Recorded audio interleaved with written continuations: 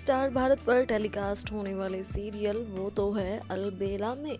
सरोज करने वाली है, सारा काम खराब। सरोज आने वाली है, सयूरी और उसके काम के बीच।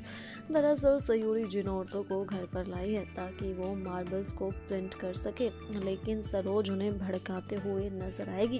जो यहाँ इन औरतों के सामने सरोज सयूरी के बारे में काफ़ी बुरा भला कहेगी। मोन औरतों के सामने दिखा देगी कि सयूरी बहुत बुरी बहू है और ऐसे में वो सब काम छोड़कर चली जाएँगी। यहाँ दूसरी तरफ़ सयूरी अपने मायके बनवा रही हैं इन सब के लिए खाना। वो जैसे ही वहाँ आएगी, सबको बताएगी कि खाना तैयार हो चुका है। आप सब हाथ धो लीजिए, लेकिन वो देखेगी कि वहाँ कोई भी नहीं है।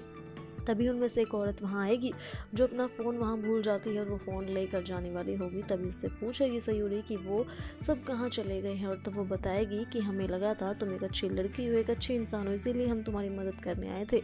लेकिन तुम बहुत बुरी लड़की हो, तुम्हारा दिल एकदम काला है।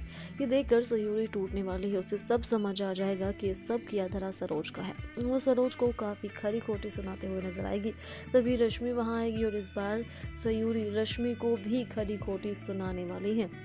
वाल इन सब के साथ आप देखेंगे कि जैसे ही सयोरी वहाँ से जाने लगेगी, उसकी नज़र पड़ेगी काना पर। यानी काना की हो चुकी है वापसी।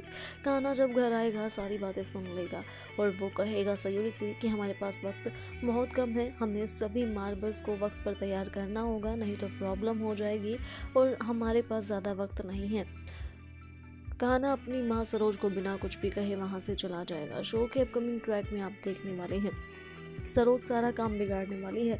जो टाइल्स तैयार कर चुके हैं कहना और सयूरी उन सभी टाइल्स को तोड़ देगी सरोज। जी हाँ अगले दिन हम देखने वाले हैं सारा सामान पैक होगा और तब सयूरी चेक कर रही होगी और उसे नज़र आएगा कि सभी टाइल्स टूटी हुई हैं। तभी वहाँ पर आएगी सरोज और कहेगी कि देख लो, कोई टाइल्स साबुत तो नहीं है और ये देख कर आ जाएँगे सयूरी को चक्कर। लेकिन तभी खाना उसे संभालते हुए नज़र आएगा।